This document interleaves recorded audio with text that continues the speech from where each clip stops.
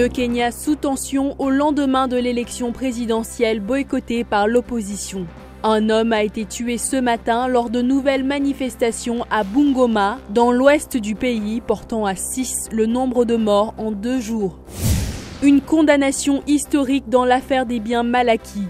Le tribunal correctionnel de Paris a condamné le vice-président de la Guinée équatoriale, Théodorin Obiang, à trois ans de prison avec sursis et 30 millions d'euros d'amende pour s'être frauduleusement bâti un patrimoine en France. Le Burundi se retire de la Cour pénale internationale. Un retrait effectif dès aujourd'hui, un an après avoir notifié son départ à l'institution. Le Burundi devient ainsi le premier pays africain à quitter la CPI. En Égypte, le ministère de l'Intérieur annonce que la police a abattu 13 terroristes lors d'une opération de contrôle dans le sud du pays, une semaine après des affrontements meurtriers entre forces de sécurité et insurgés.